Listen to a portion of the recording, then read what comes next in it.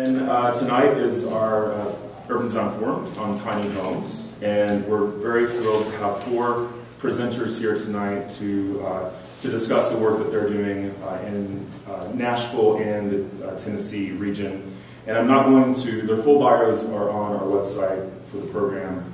And I'll let I'll introduce the group, and then they'll each give presentations. We'll have time for a few short questions after each presentation and then a group uh, question session when they're all completed. So uh, joining us tonight, we have uh, David Latimer, who's with Nashville Tiny Homes. We have Ben Scoop, who's here with us from LP Building Products. We have Sarah Murphy, who's here from Music City Tiny House, and Jeremy Weaver, who actually drove in from Chattanooga to present the work he's doing with the Wind River Tiny Homes. And with that, I'm going to turn it over to David. Hi, I'm David. I like tiny homes. Uh, my name is David Latimer. I'm actually born and raised in Nashville. Um, I'm currently building two tiny homes, and uh, I'm going to give you a little background about myself and how I got into tiny homes. So I graduated from university uh, with a degree in literature and philosophy.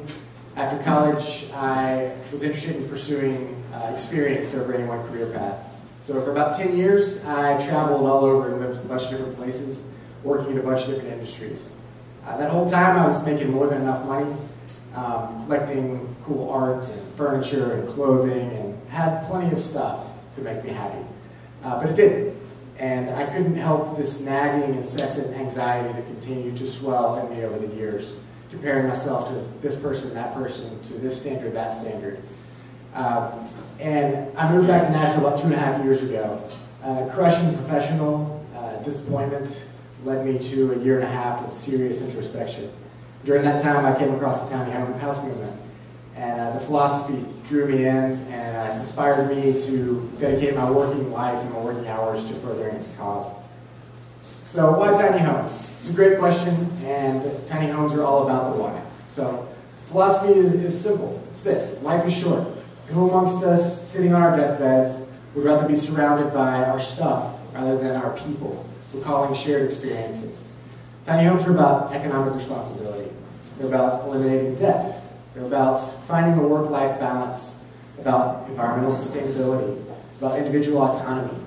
Um, they're about a lot of things that are very positive. They're both, they're both deeply conservative and deeply progressive.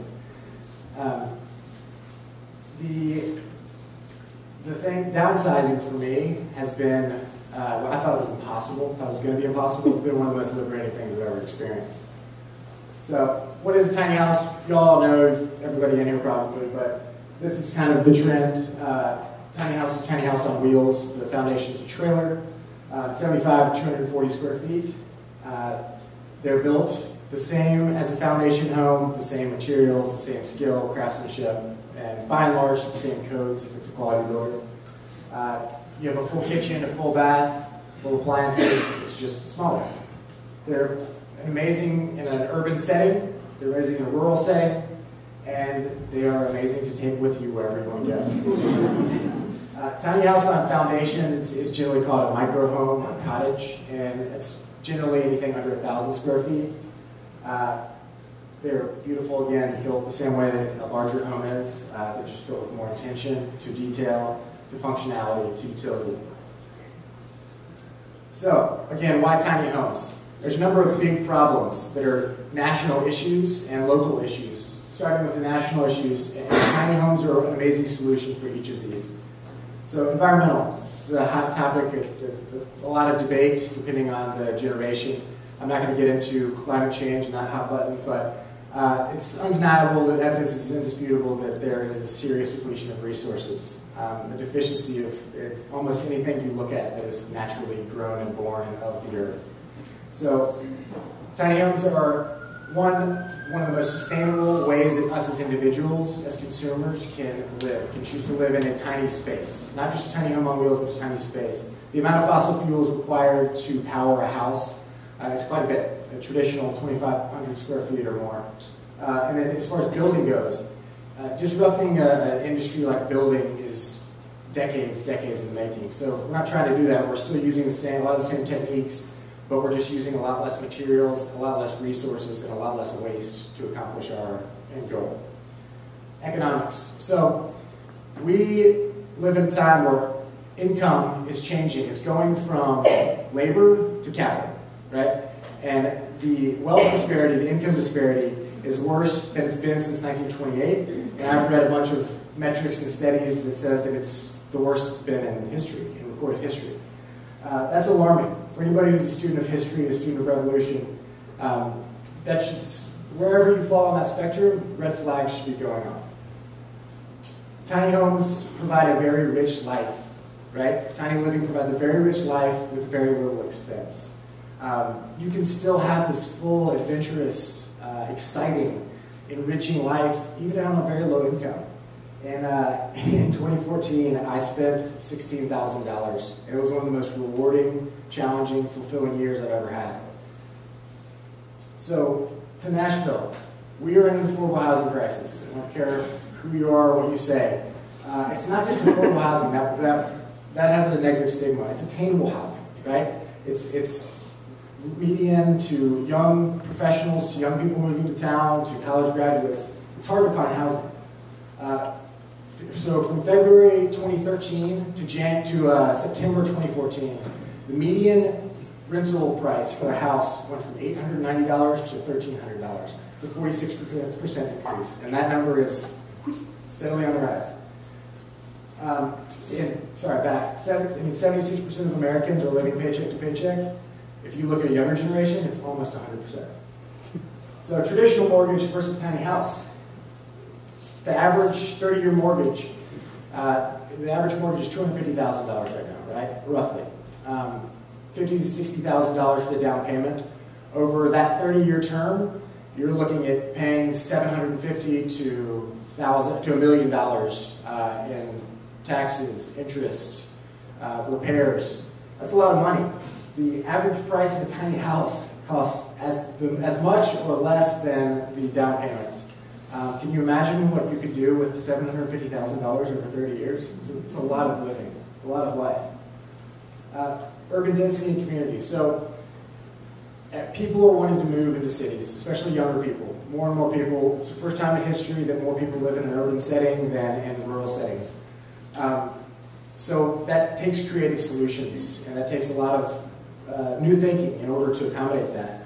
The thing about tiny houses is they're a solution right now. It's not a hypothetical. It's not a product of development. It's not a what if we do this this and this. It's like, no, we build one.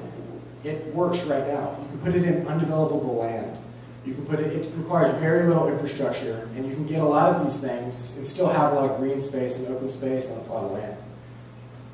Uh, there's Boneyard Studios. That plot of land was considered undevelopable, and it became a place for four people to live comfortably. Uh, there was an urban garden, community garden, uh, where everybody in the neighborhood was able to participate in.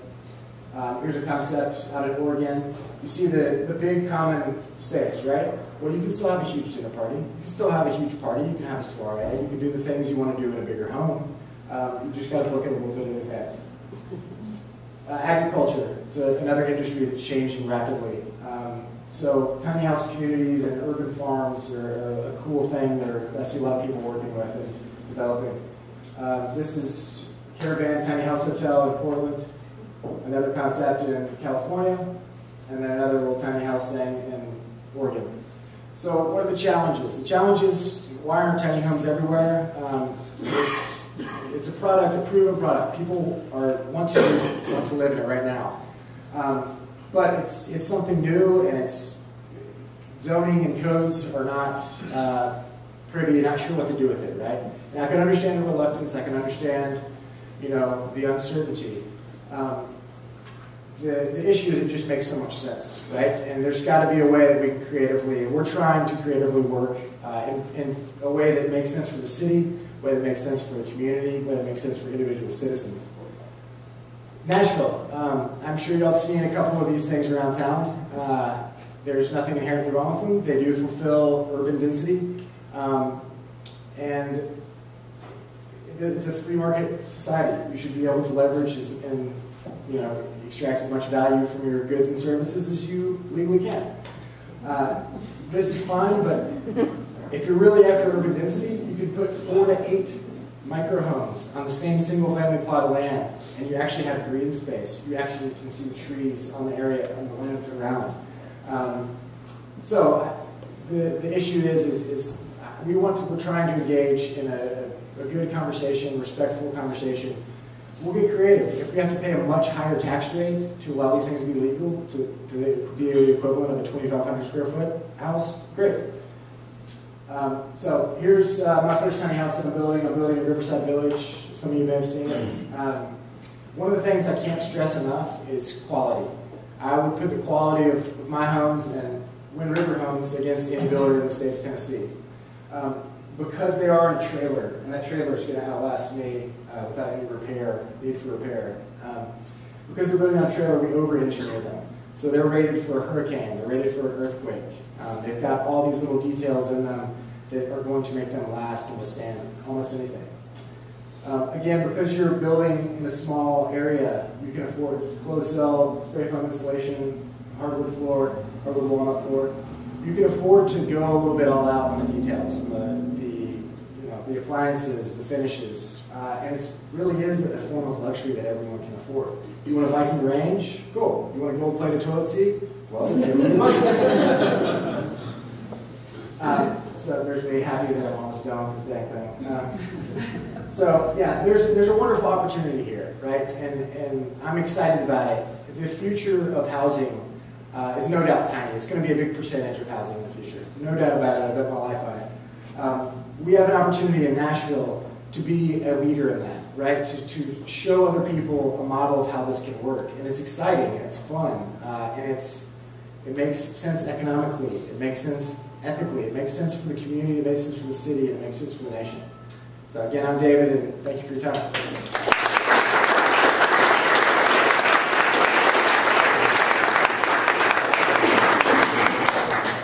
Any questions?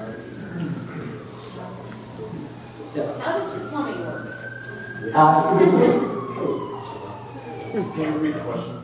Yeah, so the question is, how does the plumbing work? It works just the same as it does in a normal house, right? Uh, it can. Connected to something. What's that? Where does it go? Where does your plumbing go? It goes out to the street. Right, it goes to the city, the city system. So you can hook it up to the city system. Um, this is a conversation that everybody's asked in Tiny Home World. Uh, you will be amazed. First of all, let me just say this, is, since we're on the gross topic, it is unbelievable how many resources it requires to turn our black water into potable, usable water. It's unbelievable. Just please do a little bit of digging and research. Uh, composting toilets have come a very long way, and that's that's my my jam. I'm, uh, I'm encouraging people to use composting toilets. It solves a whole lot of problems, and it's not gross. And you know, it's, it's nice to be responsible for your own shit, literally. Do you plan on building microhomes as well and not just tiny homes? Yes, I do eventually. Um, right now, you know, one step at a time. But there's, you know, there's it's a little bit of a lower hanging fruit because there's not as many codes or not as many zoning regulations. But yeah, absolutely.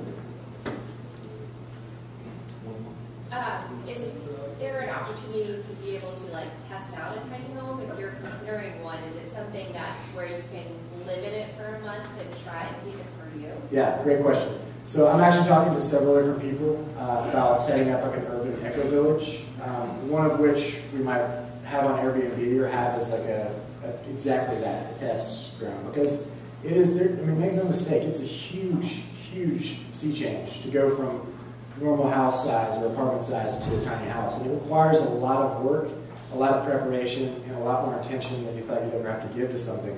Um, but it is a very deeply, richly rewarding experience. So, and that's that's a, a very important thing to allow people to test it out because it's not for everybody. Absolutely not for everybody.